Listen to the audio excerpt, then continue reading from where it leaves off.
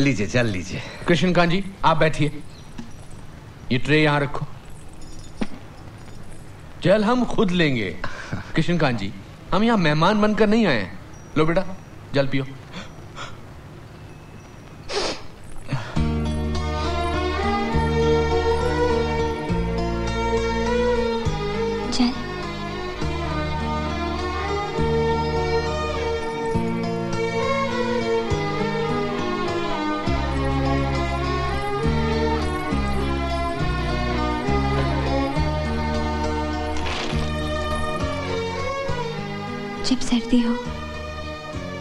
तो बर्फ़ का पानी नहीं पीना चाहिए।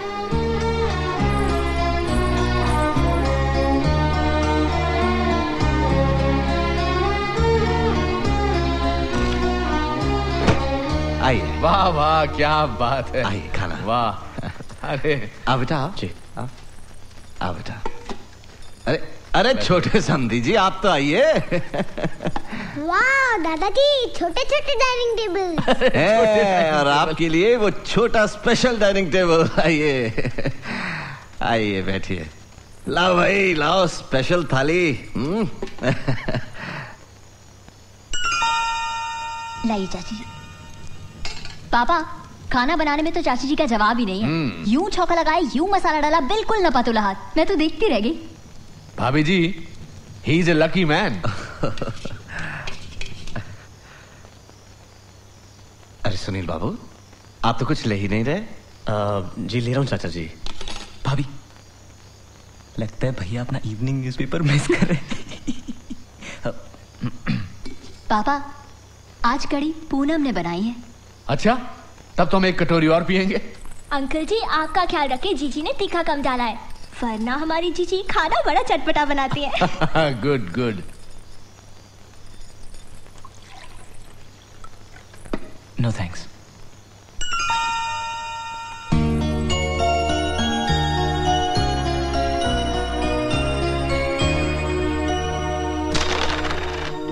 Poonam मैंने कृष्ण कांजी से कह दिया है कि आगे की पढ़ाई तुम दिल्ली में पूरी करोगी। उसके बाद चाहो तो ऑफ़िस अटेंड कर सकती हो।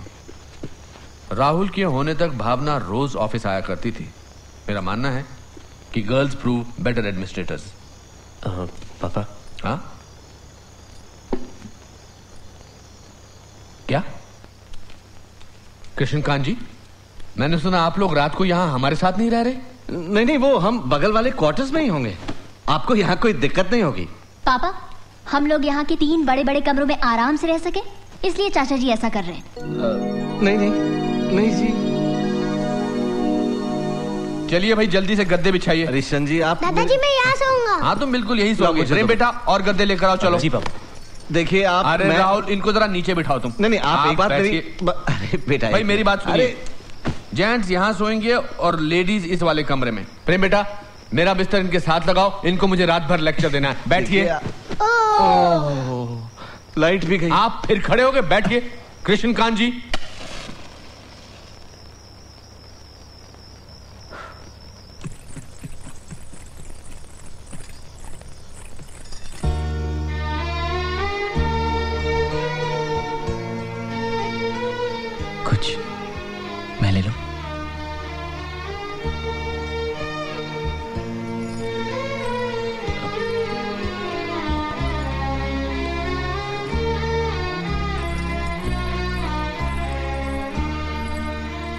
चाचा जी हर सुबह तांबे के लोटे का जल पीते हैं।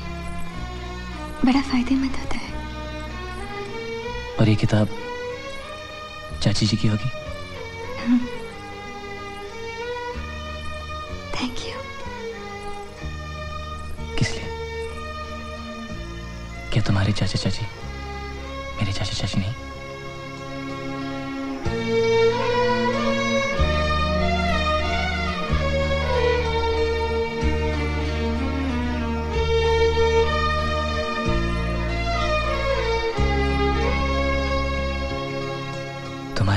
लाया था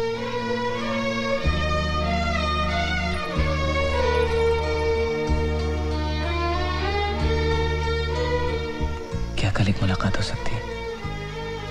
चाहो तो भाभी अरेंज कर सकती है।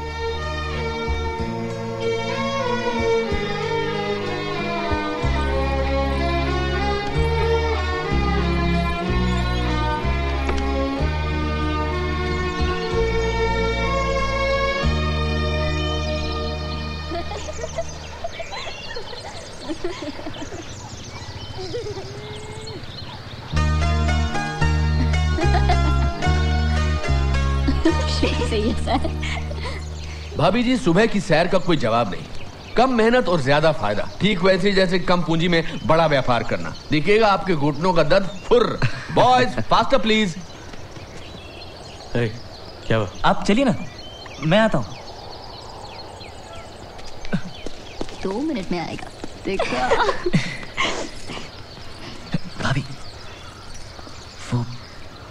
मुलाकात का क्या? करवाते हैं करवाते हैं। जाओ तब तक स्वास्थ्य बनाओ।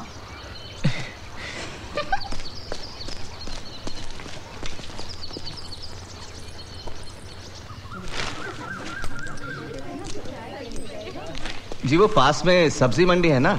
अच्छा। इसलिए ये मार्केट जल्दी खुल हाँ, जाती है। वो कृष्णकांत जी आसपास कहीं गरम गरम जलेबियाँ बन रही हैं। दो जलेबी का नाश्ता करेंगे? ये लीजिए जी गर्मा गर्म अरे जलेबियाँ आप भी तो बैठिए। बस आया दो मेरे को। हाँ, ये दूध भी लीजिए। अरे आप फिर खातिर में लग के बैठिए ना। बढ़िया है जी बढ़िया है। लीजिए ना।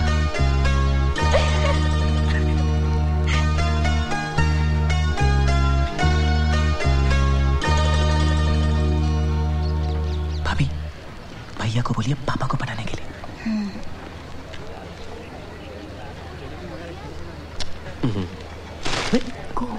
भावना को लीजिए ना। भाभी जी को प्यार से अपने हाथ से खिलाइए। डैड? हाँ बोलो बेटा। आगे का प्लान क्या? अंगूर के बाग देखेंगे। बच्चों तुमने अगर यहाँ आकर अंगूर के बाग नहीं देखे तो कुछ नहीं देखा।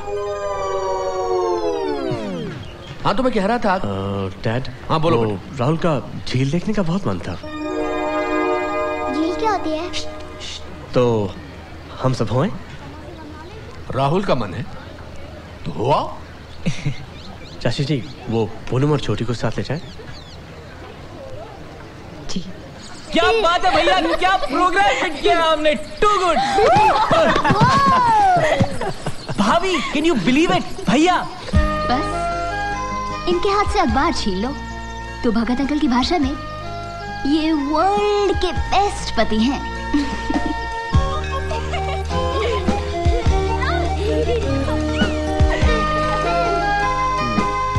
वो वाला दिखाना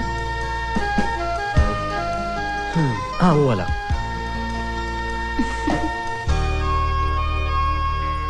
भैया भाभी को ये साथ में देखकर बहुत अच्छा लग रहा है। भैया हमेशा काम में इतने बिज़ी रहते हैं कि भाभी को टाइम ही नहीं दे पाते। यहाँ भाभी को उनके साथ हॉलिडे मिल गई। तुम्हारी वजह से।